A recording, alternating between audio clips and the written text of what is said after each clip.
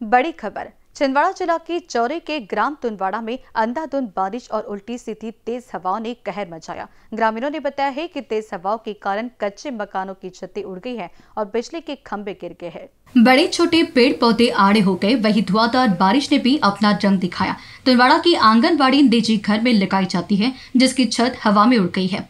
कई वर्षों से आंगनबाड़ी मैडम अपने घर में आंगनबाड़ी लगा रही है, लेकिन अब उसकी छत उड़ गई है।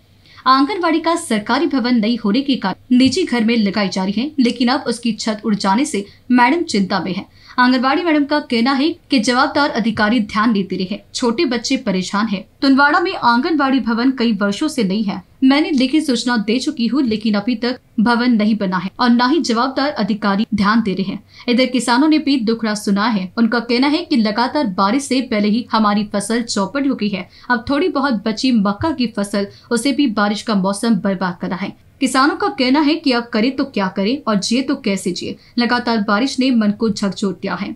हाँ दादाजी कल क्या हुआ? और कल तूफ़ान में घर ही घर ही उधड़ गई जी पूरी सीट निकल गई। क्या बहुत तेज तूफ़ान था? हाँ बहुत तेज है तो ना। हुआ भी है? बहुत तेज तूफ़ान तो पूरे घर की छत उड़ गई भैया और तब बोला था पानी भी भर गया था घर के अंदर।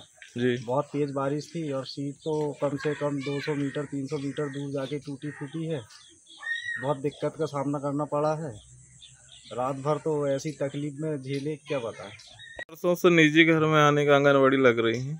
ये निजी घर में आठ वर्ष हो गए और शासन की तरफ़ से ना कुछ मतलब इसकी किराया भवन मिलता है ना कुछ मतलब विभाग में भी जानकारी देने के बाद में भी वहाँ से कोई कार्यवाही नहीं हो रही है।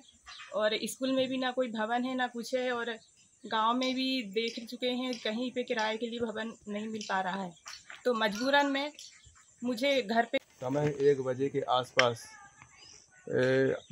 भारी बारिश और तूफ़ान से यहाँ महिला बाल विकास के बच्चे लोग यहाँ पे आंगनबाड़ी लगी हुई थी और यहाँ पे जो तूफ़ान में जो क्षतिग्रस्त हुआ है, जिससे बच्चे लोग बाल बाल बचे और बहुत कड़ी मशक्क़त के बाद में बहुत देर तक ये तूफ़ान चलता रहा, उसमें से बहुत सारी क्षति हुई, ये मकान वगैरह जिसके सीट वगैरह ये इधर उधर उड़ के इधर इधर चिथड़े उथड़े टाइप के पड़े हुए हैं और पीछे भी सभी तरफ़ से काफ़ी लंबे कम से कम साठ फिट की दूरी तक ये सीट उड़ के गई है।